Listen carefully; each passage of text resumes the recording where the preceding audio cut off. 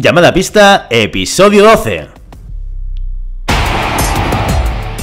Hola, muy buenas y bienvenidos y bienvenidas a Llamada pista, el programa, el podcast en el que hablamos de ese desconocido deporte que es la esgrima. Este podcast está pensado por y para ese extraño a la par que especial colectivo de seres humanos que decidimos no dedicarnos ni al fútbol, ni al baloncesto, ni al tenis, ni a ningún deporte conocido, y que por el contrario preferimos, en pleno siglo XXI, blandir la espada y enchufarnos a la pista. Aquí estamos como siempre, Willy Cornet, esgrimista intermitente, y al otro lado del Skype, Santi Godoy, entrenador de esgrima y director del SAC, Sala de Armas del Garraf. Hola Santi, ¿qué tal? Hola Willy, ¿qué tal? ¿Cómo estás? Muy bien, muy bien. Aquí una semana más, compartiendo y revisando informaciones sobre el mundo de la esgrima. Este fin de semana ha venido cargadito, ha venido cargadito. Hemos tenido ocho competiciones. Te digo, ha venido cargadito y con buenas noticias también. Porque han habido de sable masculino femenino individual y por equipos y espada masculina femenina individual y por equipos. Hasta, hasta este fin de semana estábamos acostumbrados a ver más o menos a las armas compitiendo en los mismos países. ¿no? Cuando espada le tocaba competir en una geografía, pues normalmente coincidía la espada masculina y la femenina, ¿no? o el sable o el florete. Hemos tenido ese esquema más o menos replicado en, los fines de semana de competición. Este fin de semana ha sido diferente. Hemos tenido competiciones en, eh, en cuatro países diferentes. En Latinoamérica, en, en Argentina, donde hemos tenido a la espada masculina compitiendo, en, Bélgica, en una ciudad impronunciable que no me voy a arriesgar a pronunciarla, luego, luego la pronunciaré. Pero hemos tenido al sable femenino compitiendo en Bélgica. Con muy buenos resultados también. Hemos tenido a la espada femenina compitiendo en Chengdu, en China. Y hemos tenido al sable masculino compitiendo en, en Hungría, en Budapest. Hemos vuelto a Budapest. ¿vale? Estuvimos también el, eh, hace dos fines de semana, me parece, viendo competiciones de espada. Pues ahora estaba el sable, el sable masculino. Hungría también al quedar en el centro de Europa, que aprovecha mucho para, para llevar muchas competiciones allí, además de la, de la extensísima tradición que tiene de, de esgrima. O sea, tiene muchísima tradición. Siempre estamos hablando de Italia, Francia, eh, como países con mucha tradición y yo creo que Hungría está a la par o incluso más enraizada la, la tradición de la esgrima que en estos países. Hungría tiene dos armas que sobresalen por encima de la media. El sable húngaro, ahora su máxima representación es Aaron Silagi, campeón, campeón olímpico. El guaperas. El guapo, ya, le hemos puesto un apodo ya, el guapo. y, y la espada, eh, no tanto por la esgrima, que también, sino porque su deporte nacional es el pentatlón moderno. Entonces tiene muchísima tradición militar dentro de, del deporte, de los deportes nacionales, es el pentatlón moderno, que una de las cinco disciplinas es la espada. Entonces también tiene por esa parte tiradores eh, de, grandísimo nivel. Bueno, de hecho ha habido alguno en, en semifinales, ¿no? Este, este fin de semana de espada en, Buenos Aires. Bueno, vamos a ver un poco los nombres. Eh, se repiten pocos, o sea, de ocho finalistas que hemos tenido en estas competiciones, vamos a, escuchar repetidos dos de ellos, ¿vale? Lo cual implica cuál es la rotación en todas las armas, ¿no? El fin de semana pasado eh, recordamos que en florete femenino hay las dos grandes tiradoras que son Inna y Alice Volpi que se van repitiendo con cierta frecuencia, ¿no? Y que se van juntando y se van enfrentando en, varias ocasiones en final, ¿no? Pero aquí ya veremos que en espada y en sable los nombres van a ir variando, ¿no? Y con alguna sorpresa interesante. Sí, me gustaría hacer una, una aclaración que parece que no, pero yo creo que a medida que vayamos viendo pasar la temporada, nos daremos cuenta que la farma, quitando el florete, ¿no? Que puede, lo que tú dices, que tiene hegemonía de cuatro personas, sable y espada, tanto masculino como femenino, no nos estamos moviendo entre dos, tres, cuatro tiradoras, sino que entre los ocho primeros, incluso me, atrevería a decir que entre los 16 primeros, cualquiera puede ganar. Nos damos cuenta que eh, el nivel entre la, cabeza del ranking FIE es muy, muy, muy, muy similar. Por lo tanto, no, no puedes relajarte en ningún momento. No puedes bajar la guardia, ¿eh? Nunca mejor claro, dicho. no estamos hablando de, de, una, de una única hegemonía de una persona. Yo creo que a medida que vayamos viendo pasar la temporada, los nombres van a ir cambiando, pero si ampliamos un poquito más el cuadro, yo creo que los 16 siempre van a ser los mismos.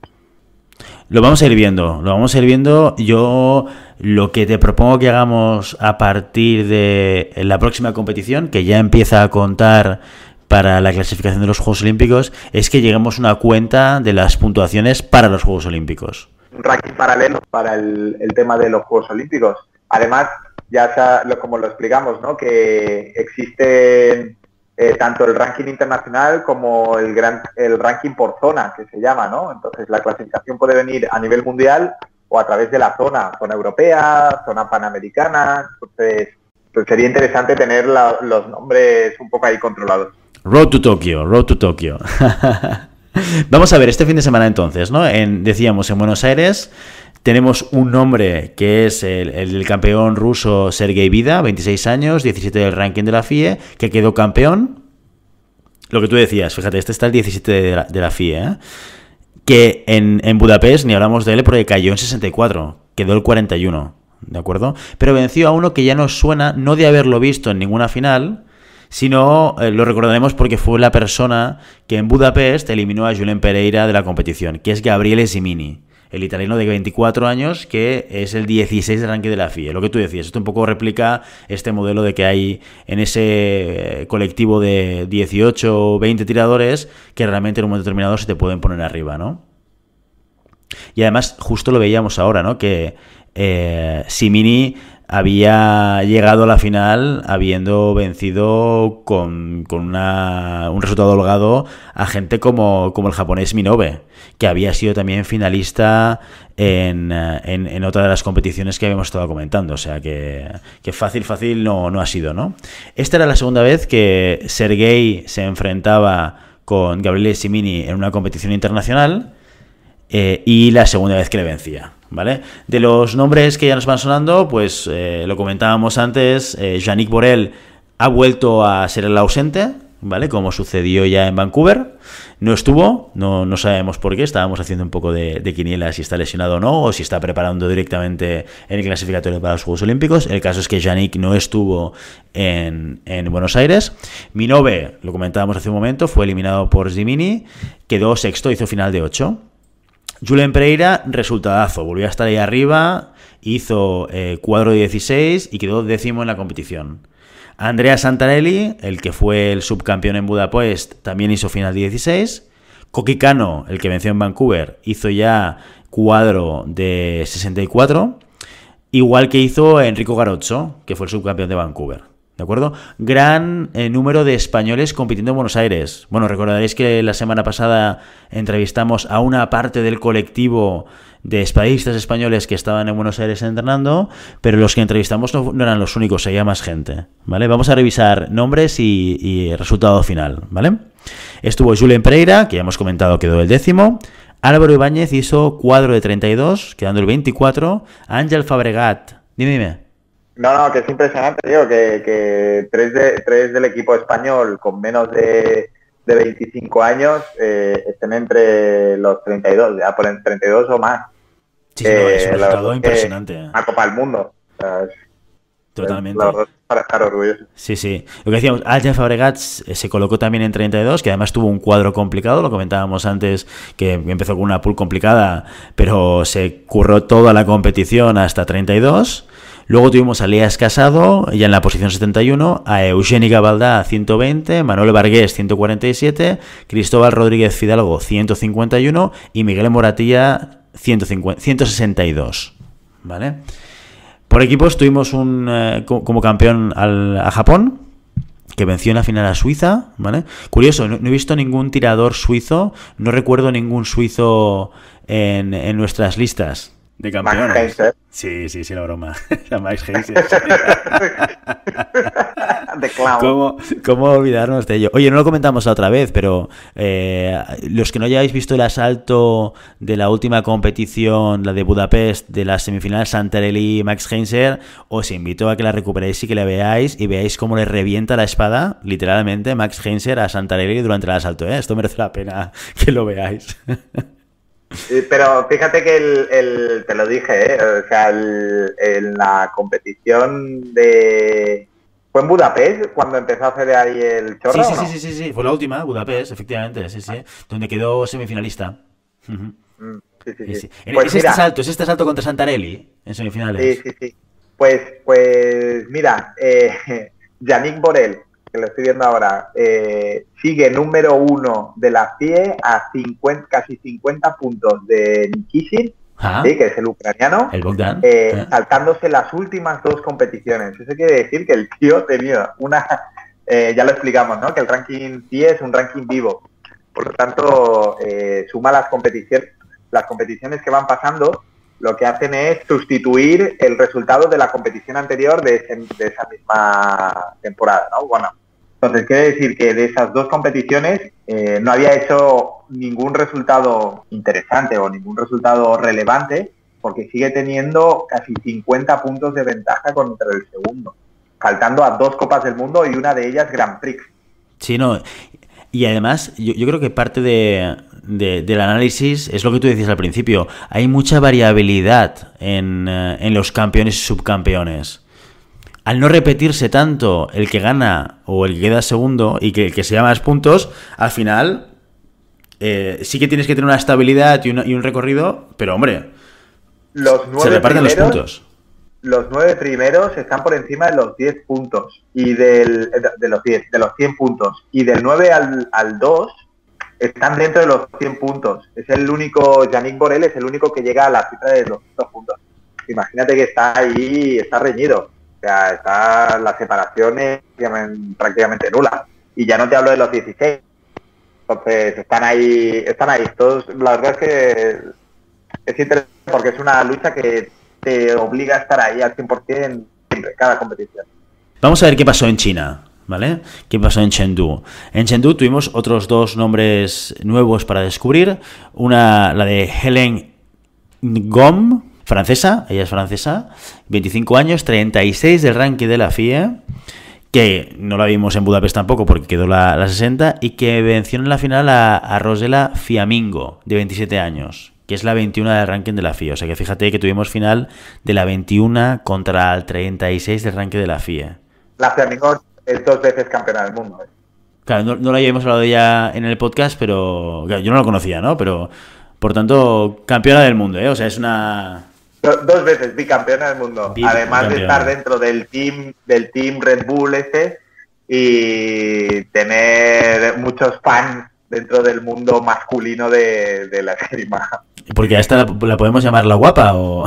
Sí, sí, hay que. Posiblemente la primera eh, millennial, por decirlo de una manera, que usa su estatus de deportista como embajadora en, en, otros, ¿no? Como podría ser el, el que es americano también, que es floretista, el Watson Chamberlain, eh, que lo que hacen es sacar rédito a su imagen, ¿sabes? Es como un deportista profesional más.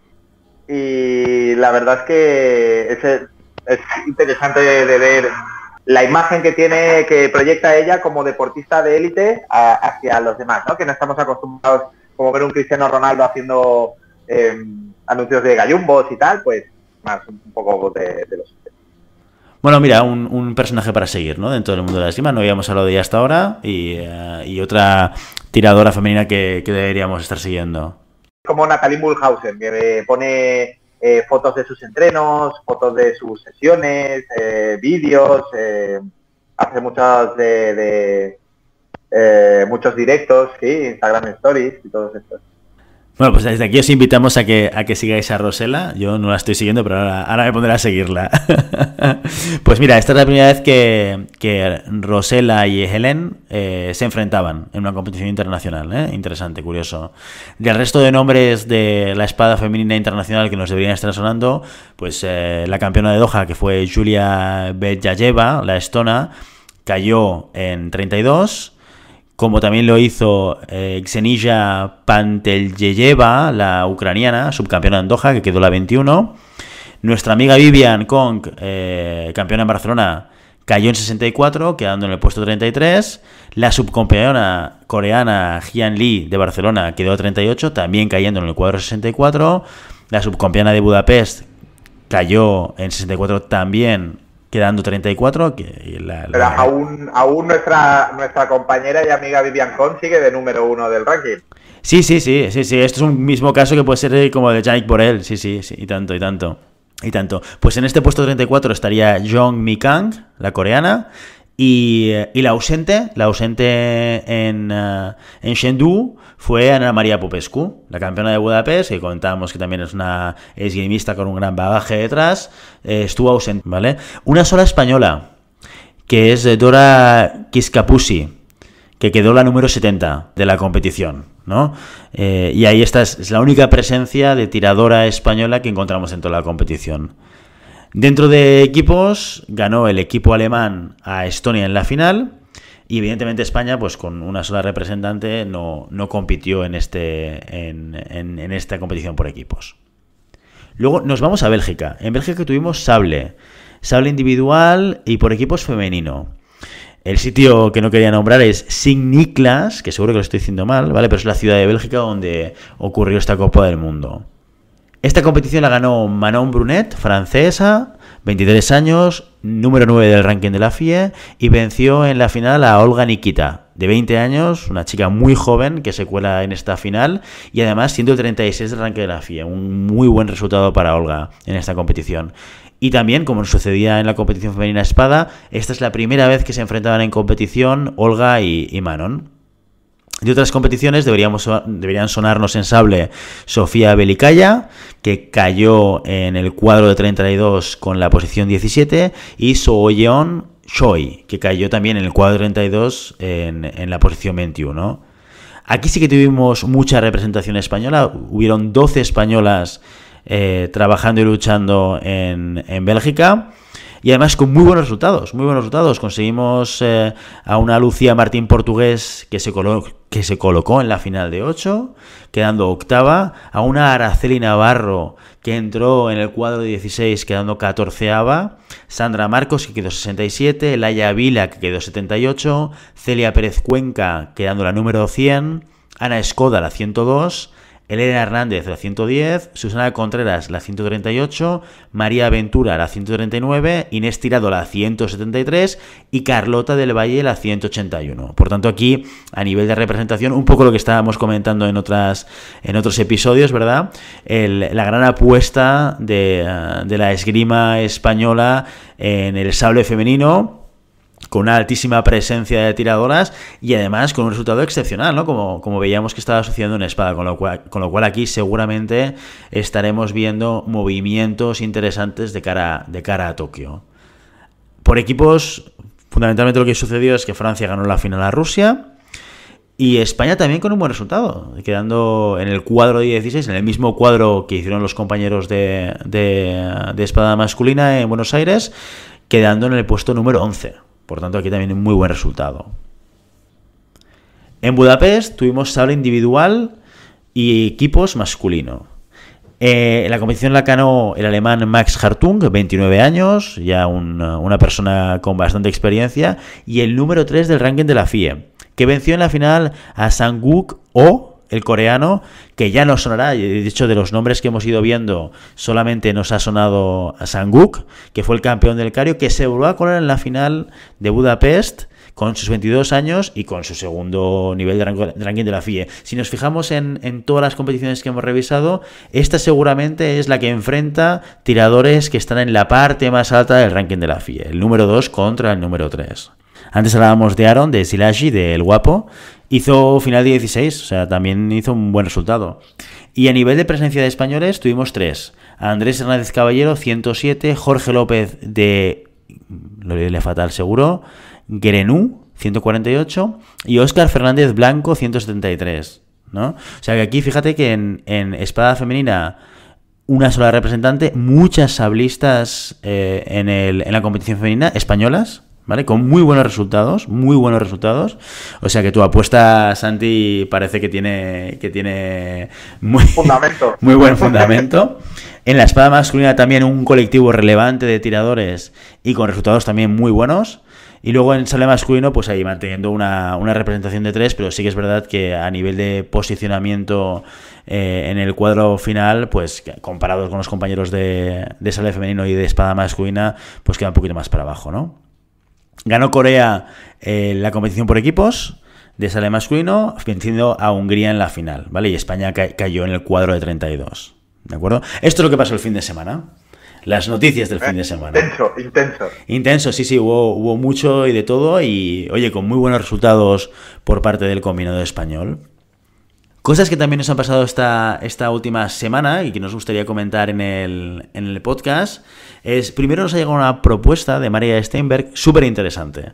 María nos invita y nos propone a hacer un live de podcast. ¿Vale? Y, uh, y ya le, hemos comentado a ella que tenemos que buscar la manera técnica de hacerlo. A mí, a priori, no se me ocurre cómo hacerlo, si esto es a través de Facebook, a través de YouTube, a través de qué, qué plataforma. Pero sí que es verdad que comentándolo con Santi, ¿no? Parece como un, un, reto interesante, ¿no? El montar un día y decir, oye, no hacemos un falso directo, hacemos un directo de verdad. Sí, además eso te da la oportunidad de que la, eh, la interactuación con los que nos escuchan sea inmediata. Entonces, es una, la verdad es que yo, si podemos encontrar la manera, me gustaría mucho. Pues ya, ya, ya, la encontraremos, la buscaremos. También habrá que ver qué día y a qué hora hacemos el live, porque esto es un elemento relevante. Porque ahora nos manejamos en los horarios que podemos, ¿eh? claro.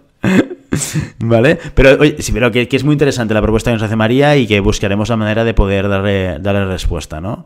Otra cosa interesante que nos ha pasado ha sido que se nos ha añadido como, como seguidor de nuestro perfil de Instagram José Luis Abajo, Pirri que nos hizo mucha ilusión cuando recibimos el mensaje y, que nos felicitaba por la, por la iniciativa. Así que desde aquí, oye, genial que, que podamos tener esta difusión y que, y que realmente se valore un poco el, el, trabajo de llamada pista a la hora de difundir el, el deporte de la esgrima.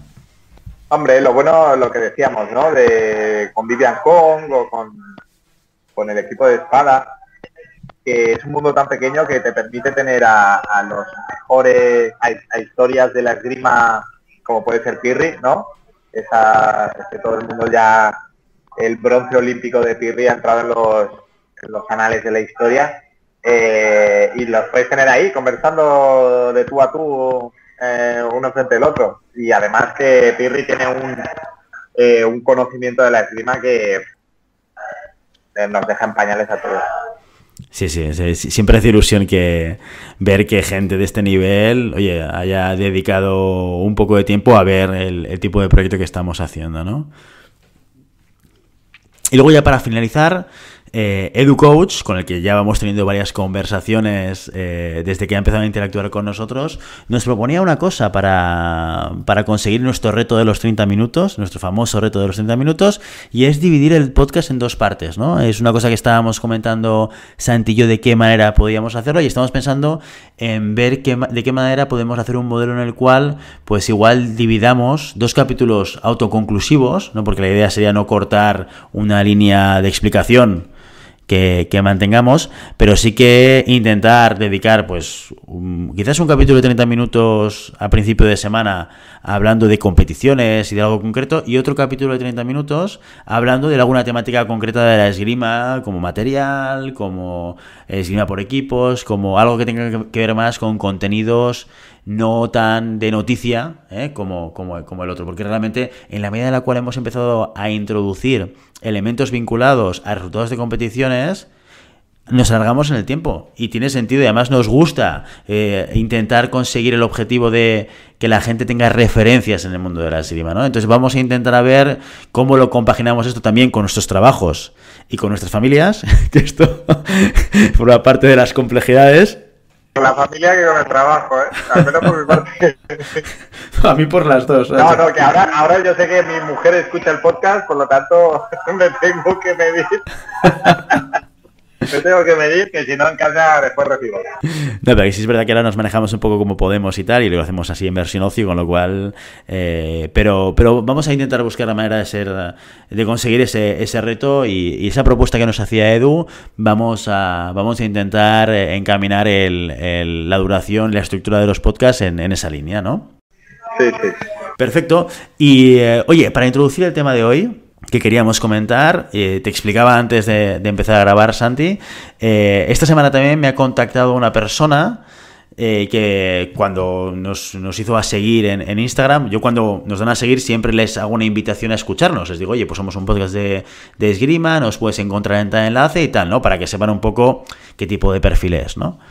Y, y en una de estas, una de las personas me dice, mira, os sigo porque mi hijo de 8 años hace esgrima. Y yo le respondo, bueno, ¿y tú? ¿Y tú también haces esgrima o no? ¿Practicas? Y me dice, no, hombre, yo tengo 44 años. Y yo le respondo, pero no pasa nada. la esgrima es un deporte que yo he conocido mucha gente que ha empezado con cierta edad y que además, sobre todo, quizás las, eh, el arma de la espada se da más a ello porque es menos física o puede llegar a ser menos física, ¿no? La, puedes practicar, mm, digamos, defendiéndote mm, con bastante honor en la pista eh, sin tener que haberlo practicado toda la vida, ¿no? Precisamente salió este tema el fin de semana que, bueno, como tú sabes, ya celebramos mi 30 cumpleaños y conseguí reunir a, a, a los grandes referentes míos de la esgrima, ya no ya no solo de la esgrima de competición, que no lo son, sino de la esgrima de como, como leitmotiv, como, como un elemento de diversión eh, como no había conocido antes, ¿no? Entonces, todos coinciden que es un perfil de gente que empezó la esgrima con, con mucha edad, a partir de los 30 años, Y han, han conseguido hacer un grupo que además de estar súper cohesionado, ya llevamos casi 15 años eh, de amistad, eh, precisamente es, el, hecho este de, haber conseguido un grupo eh, donde la esgrima es el nexo de unión, pero es todas las experiencias, todas las vivencias, incluso la gran mayoría de experiencias y de vivencias son fuera de la esgrima, ¿no? Entonces, por ejemplo, eh, ¿quién no ha salido de, competición, a un viaje de competición? Y la competición ha sido lo más secundario de ese viaje, ¿no? O, quién no se ha ido a, hacer unas cañas y algo más eh, por Madrid, por Logroño o por, por Francia o estas, estos viajes ¿no? que te dan como un poco licencia para matar y la competición siempre ha sido algo secundario. Eh, yo creo que es una es una experiencia que súper enriquecedora. Siempre estamos hablando de los valores de la esgrima, los valores que transmite el deporte. Y yo creo que el ambiente de la esgrima es de los más sanos que me he encontrado yo. Eh, todos los deportes que, he podido ver o que he podido experimentar. Y ya no solo porque el hecho de que sea un deporte con valores, sino precisamente por lo que comentábamos, uh, llevamos comentando muchos podcasts, que es que la gente de la esgrima tiene algo especial, ¿no? Tiene algo friki, pero dentro de ese algo friki eh, tiene unas características personales que hace que cualquier grupo ¿sí? tenga un nexo de unión ya más, más que garantizado al inicio. ¿no? Fíjate tú cuando salías de competición y te juntabas con gente de Madrid, con gente de, Andalucía, de Valencia, ¿no? Era como si nos conociéramos durante de toda la vida, porque es un perfil que encaja muy bien, eh, seas de donde seas. Porque para hacer esgrima necesitas estas cualidades que hacen que seas buena persona.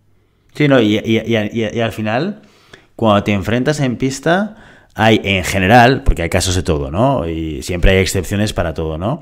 Pero, pero en general sí que se da ese ambiente de respeto al tirador que tienes delante. Cuando te enfrentas a alguien, eh, eh, partes de... Bueno, es que la, propia base de la esgrima que, que te obliga y te sanciona si no saludas al principio y al final. O sea, esto es un concepto ya que te transmite una serie de valores y una serie de, mínimos de relación. O sea, si tú al final de un asalto no saludas a tu contrincante, al entrenador contrario y al árbitro, ahí te, pueden, te puede caer una sanción, una sanción. Que esto no pasa en todos los deportes, ¿no? Pero ¿sabes que es algo que no pasa en todos los deportes tampoco? Correcto, correcto, que no pasa. sí. pero hay otra cosa también que, yo creo que, que, también que influye en este, en este sentido. Y es el hecho de que en la esgrima no hay diferenciación de niveles.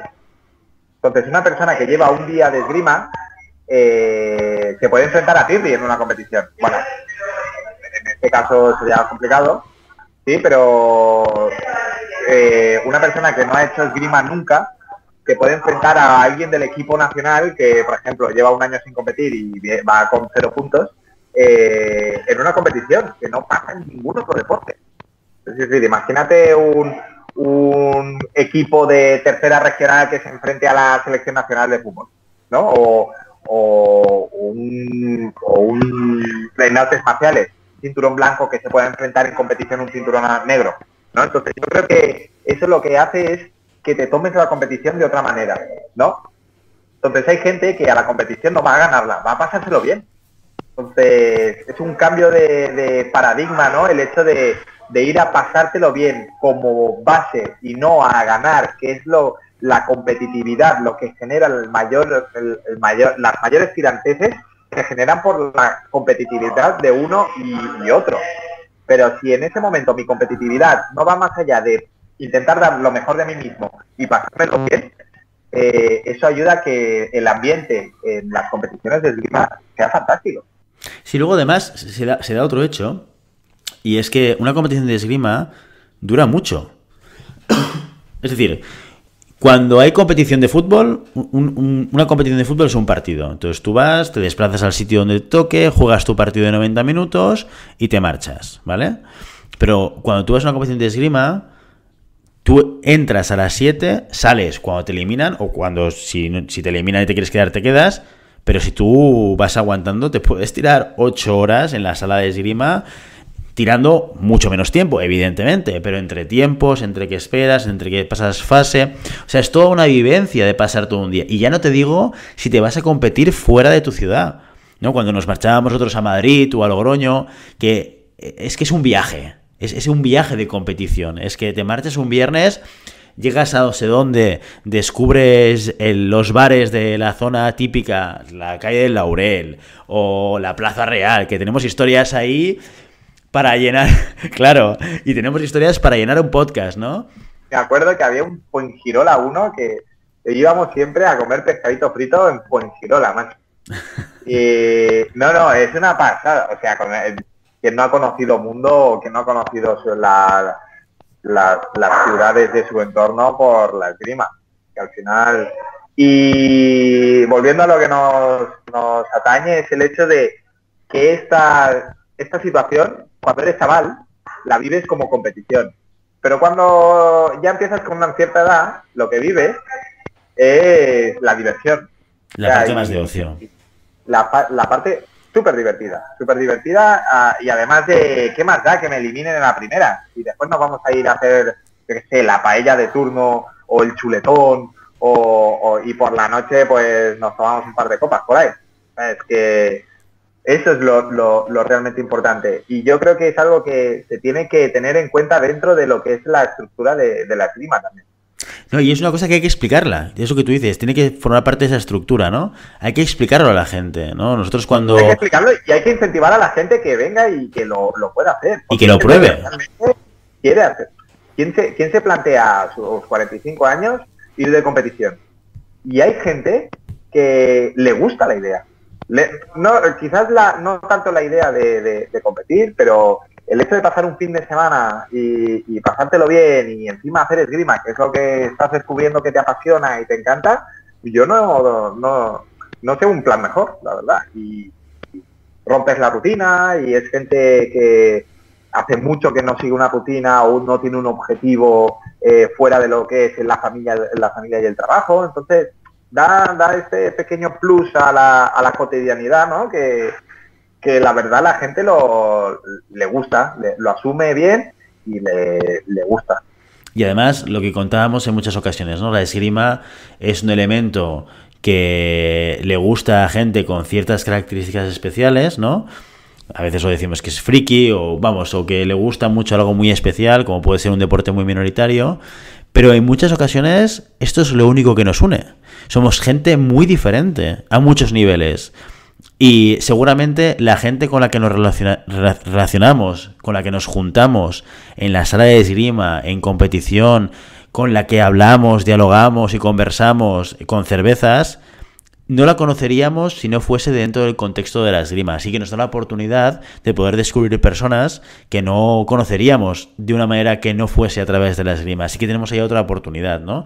En, eh, el SAM, cuando entrenábamos eh, hace ya muchos años, incluso le dábamos nombre a esto. ¿no? El jueves se organizaba de manera oficial, no oficiosa, oficial, la Pull and Beer. Y cada jueves era como una liturgia. Era pool y ahí nos juntábamos ciento y la madre, porque el SAM te permite juntarte ciento, y la madre también.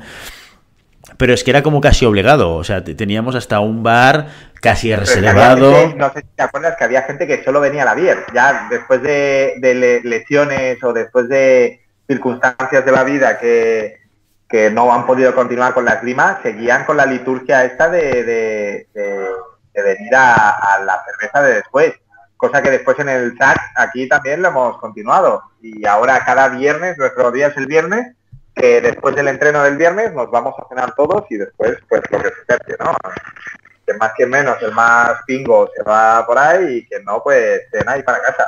Que yo creo que es algo que necesita un club sano. O sea, necesita eso, necesita tanto la parte esgrimista como la parte eh, ocio, socio, ocio cultural, ¿no? Se podría decir, que es el hecho de, pertenecer a un club. Este sentimiento de pertenencia, yo creo que, bueno, hay tratados y tratados filosóficos y, psicológicos, tú lo sabrás mejor, ¿no? De la, este sentimiento de pertenencia a un grupo hace que eh, el nexo de unión entre las personas de este grupo sea mucho más intenso. Y yo creo que estos son los detalles que hace que realmente un grupo esté sano y un grupo eh, sea llamativo para que la gente venga y quiera formar parte de él. No, sin duda. Como los de llamar a pizza. Por ejemplo.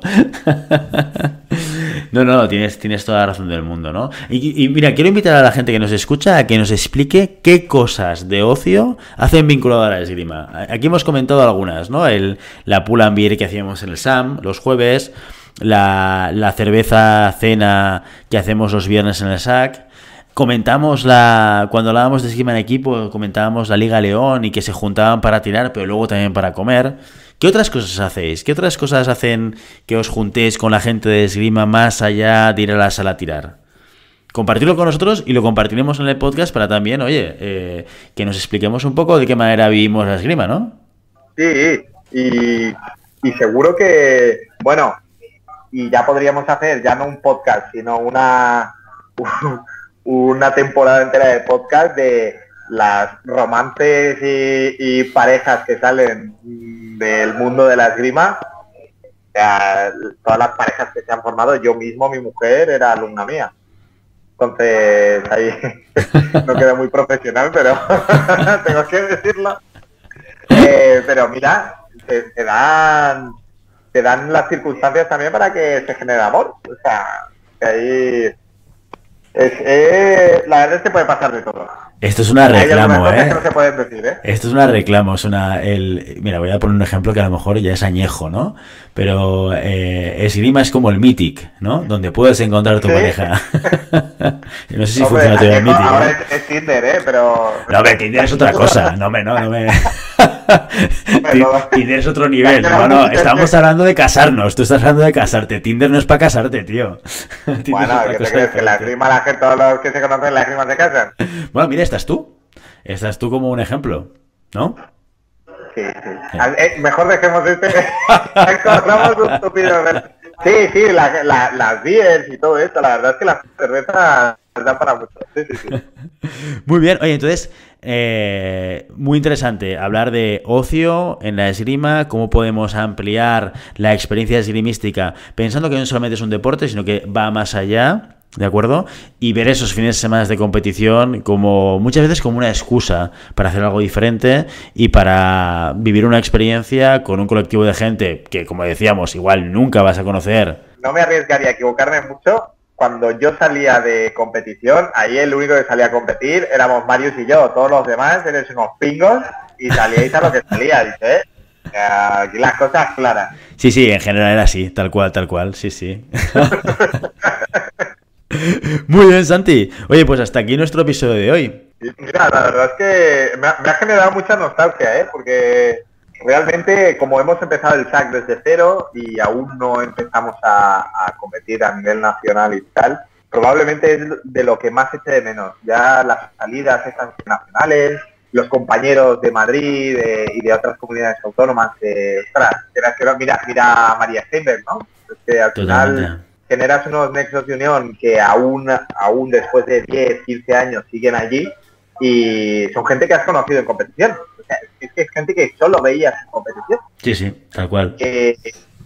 por más que sea compitas una vez al mes o una dos veces al mes, es gente que estás viendo solo un fin de semana, pero que generas un vínculo tan grande que, que ostras, mira, perduran el tiempo.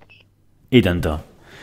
Muy bien, Oye, pues como siempre queremos invitaros a que os pongáis en contacto con nosotros. Mira, en este capítulo os damos una excusa. Explicarnos qué hacéis a nivel de ocio con vuestros compañeros de, sala de esgrima o con vuestros compañeros de competición de esgrima. Darnos vuestra opinión, decirnos de qué queréis que hablemos, de que nos hagáis las preguntas que consideréis. Todo ya sabéis que lo podéis hacer a través de llamadapista.com barra contacto. Y sobre todo, si el contenido del podcast os gusta, no os olvidéis de suscribiros, compartir este episodio en cualquier red social y darnos 5 estrellas en iTunes, así como comentar lo que queráis en iVoox y en Spotify. Esto nos va a permitir tener más visibilidad y hacer que este podcast llegue a más gente que le guste la esgrima. Muchas gracias por todo, por vuestro tiempo, por vuestra atención y por vuestro interés en este maravilloso deporte que es la esgrima. Nos escuchamos la semana que viene. Hasta entonces. Que vaya muy bien, adiós.